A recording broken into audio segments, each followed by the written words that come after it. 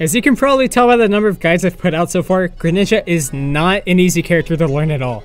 There's so much depth to her character and we're constantly finding new ways to optimize him, so regardless of your skill level, there's always room to improve.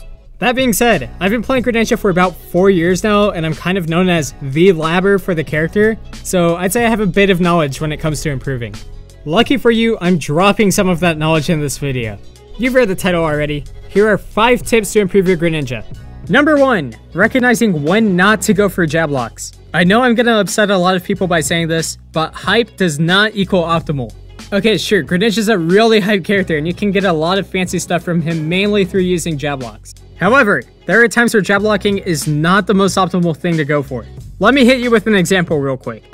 If you hit your opponent with a back air early percents, you can force a tech chase. From here, you can cover their options and get some nice early percent.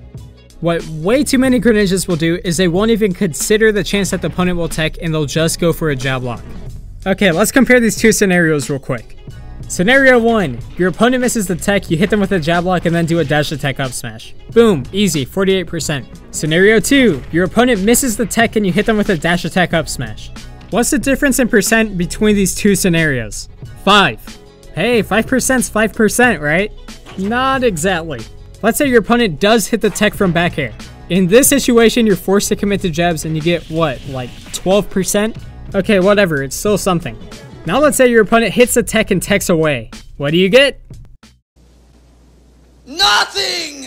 Absolutely nothing! Compared to just going for a jab lock, dash attack covers so many more options and gives you more reward. Dash attack can cover no tech, tech in place, and tech away.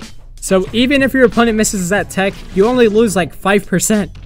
Alright, let's go to another scenario. Holy fuck, my voice. Fast fall up air. We all love it. And we especially love it when we can do a fast fall up air jab lock F smash. It can kill, it can put your opponent off stage, doing a dash forward jab can cover your opponent teching. It seems perfect, right?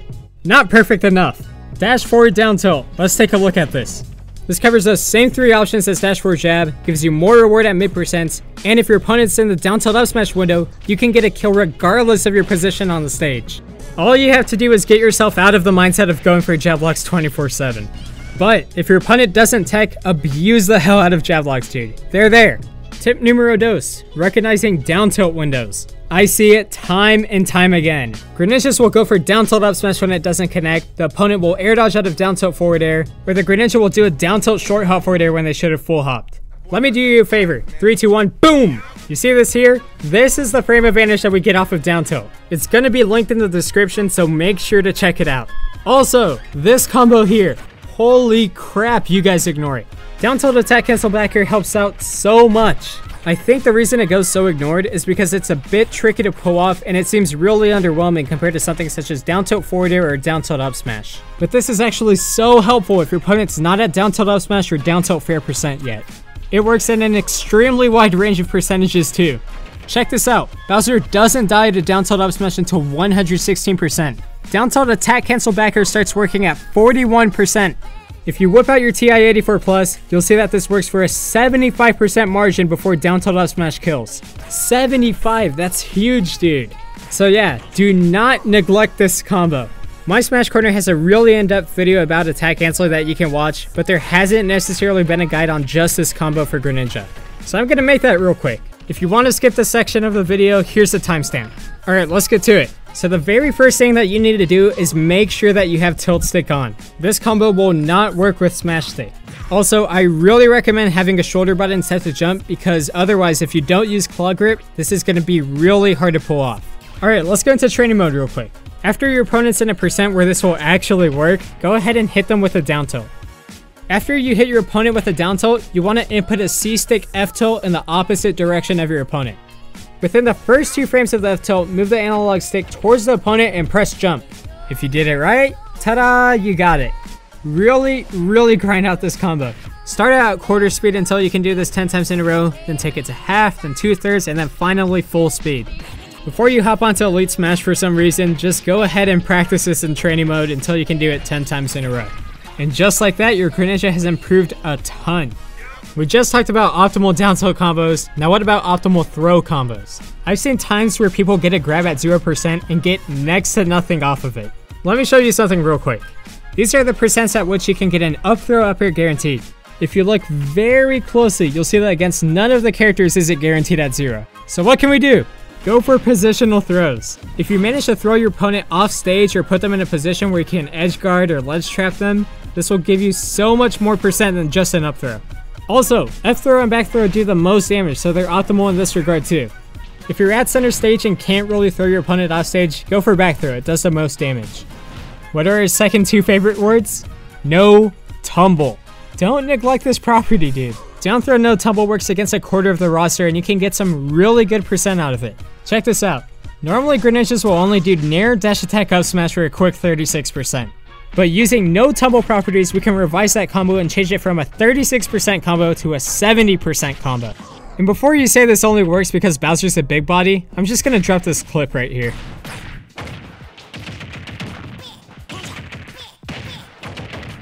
So instead of getting 9% from a back throw, or even worse, 6 from an up throw, you can get a quick 40% from a guaranteed no tumble down throw combo. I've gone ahead and updated the down throw no tumble spreadsheet so that you can see the percent at which down throw dash attack up smash connects. Just thank me by hitting that like button. Something else that you might want to consider is down throw no tumble into F tilt.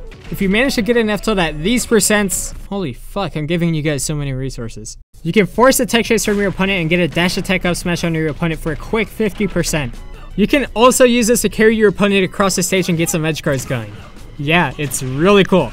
So despite down throw no tumble only working on a handful of the roster, it's a lot better than up throw into do nothing. Up air versus fast fall up air. A lot of the time, once Greninjas finally understand how to use fast fall up air, they get in the habit of doing it way too much. And they miss out on really solid confirms. There are a lot of situations, especially with platforms by the way, where you want to do regular up airs instead of fast fall up airs. Alright, let me hit you with an example. You're on PS2 and you manage to force a tech chase on the platform with a fast fall up air. From here, you can charge an up smash and cover a few options. There are actually a few problems with this.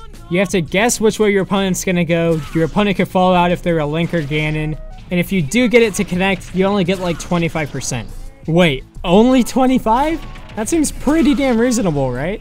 Well, what if I told you that you could take that potential 25% and turn it into a guaranteed stock? Instead of doing a fast up air, go ahead and buffer a short hop up air so that the final hitbox launches the opponent. Hey, that platform looks like it's in a really convenient spot. From here, do a full hop up air on your opponent and then land on the platform. Now because of Greninja's crazy high jump height, double jump into your opponent and connect an up air. Remember how we were making a guess earlier to get maybe 25%? These three up airs just got us 30, and we didn't even have to guess our opponent's option. Also, if you do this just right or have enough rage, you can get a guaranteed kill on your opponent. That being said, there are times where you want to go for the fast fall up air tech chase instead.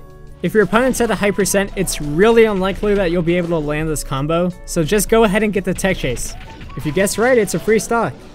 Also, don't forget that you can combine regular up air with fast fall up air for some crazy combos. If you use the two together, you can get some really nice free flow combos that can guarantee you some stocks extremely early. Let me give you a bonus tip for using up air. Fast falling after up air. That doesn't sound like fast fall up air. What does it mean? Alright, let's say you're in this position here. If you're here after hitting an up air, do you really think that you have enough time to slowly fall to the ground, enter landing lag, enter jump squat, and then double jump to connect another up air? Maybe if your opponent's playing with a single switch Joy-Con and it runs out of battery, but no, that's not gonna happen. If you were to fast fall after the up air though, you'd be able to hit the ground and double jump back up to connect another up air a lot quicker. So let's use this concept. Remember how when you were learning how to do a fast fall up air, you'd still get the final hitbox to connect even though you fast fell? That's what we're aiming for. While you're connecting an up air, wait until the very end of it to fast fall. If you did it right, you should see the fast fall sprite come out as you hit the final hitbox of up air.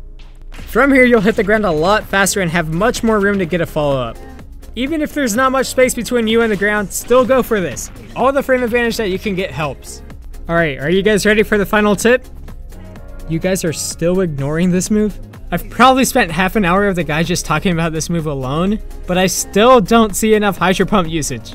What I want to focus on now is using it for juggling. I've been giving you guys so many examples today, so here's one more. Lucina's forward air is generally thought of as a safe move to use when landing, right? It's safe if space, has low landing lag, and minus 6 on shield, which Greninja is definitely not gonna punish. Let's take a look at the move's hitbox real quick. Believe it or not, this is all part of Lucina's forward air. She's stuck without a hitbox for an entire half second. The thing is, Lucina's usually land just after tossing out the forward air so you don't have as much range to punish them for using it. Think about it, we do the same with our space forward airs. So, remember how Hydro Pump has that property that always pushes airborne opponents upwards no matter how you land it? Combine this with its additional pushback on airborne opponents and you have an amazing move for catching landings. You might be thinking, okay, I went for Hydro Pump and now I'm way the hell over here. How am I supposed to punish Lucina? The answer to this question, as with all things in life, is bubbles. Well, that or Lil Pump. Gucci gang, Gucci gang, Gucci gang, Gucci gang, Gucci gang, Gucci gang. Being comfortable with Hydro Pump is extremely, extremely important. Just like you should be comfortable with using the move to recover, you should be comfortable with aiming the pump. If you Hydro Pump into the stage and shoot out a bubble, you won't be stuck in the move's animation for nearly as long and you'll be a lot closer to your opponent for a punish. Start using this!